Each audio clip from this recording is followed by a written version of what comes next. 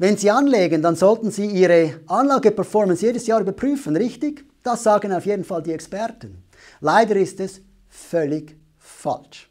Und das liegt daran, dass die Anlagen viel zu volatil sind, um innerhalb von einem Jahr, sogar innerhalb von drei oder fünf Jahren beurteilt zu werden. Damit man aus statistischer Sicht eine statistisch aussagekräftige Aussage machen kann, müsste man zehn oder vielleicht sogar 30 oder 50 Jahre anschauen. Diese Information verfügt aber niemand, denn man kann nicht so lange warten.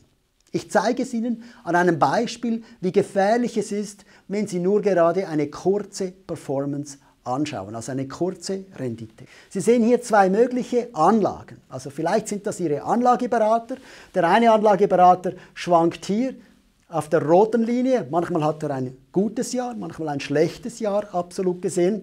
Die durchschnittliche Rendite ist eingezeichnet als gestrichelte Linie. Und der zweite Anleger, vielleicht Sie selbst, vielleicht aber auch jemand anders, schwankt auf einer anderen Ebene. Und Sie sehen relativ schnell, dass die Rendite der blauen Linie, also hier eingezeichnet die durchschnittliche Rendite, besser ist als die rote Rendite.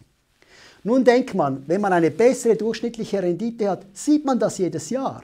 Das ist aber überhaupt nicht der Fall. Nur schon in diesem Beispiel und in der Realität sind die beiden Linien viel näher zusammen. Nur schon in diesem Beispiel sieht man, dass man hier, hier, hier und hier in mehr als der Hälfte aller Fälle eine falsche Entscheidung getroffen hätte. Man hätte nämlich gesagt, der rote ist besser, der rote ist besser, der rote ist besser, der rote ist besser.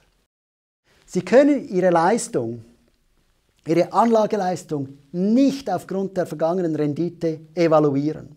Das ist ein ganz entscheidender Punkt, weil die Märkte viel zu volatil sind und die durchschnittlichen Renditen verschiedener Anlagephilosophien viel zu neu beieinander sind. Was bedeutet das für Sie als Sparer? Sie dürfen nicht auf vergangene Renditen schauen, auch wenn das wirklich schwerfällt. Vergangene Renditen ob sie über ein Jahr, drei Jahre, fünf Jahre, sogar zehn Jahre gemessen sind, sagen nichts aus über die Qualität ihrer Anlage. Sie sind statistisch gesehen nutzlos. Und eine nutzlose Information sollte man nicht für eine so wichtige Entscheidung verwenden wie Ihre Anlageentscheidung.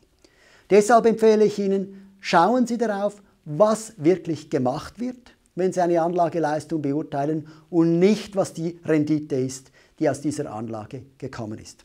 Ich wünsche Ihnen viel Erfolg beim selber investieren.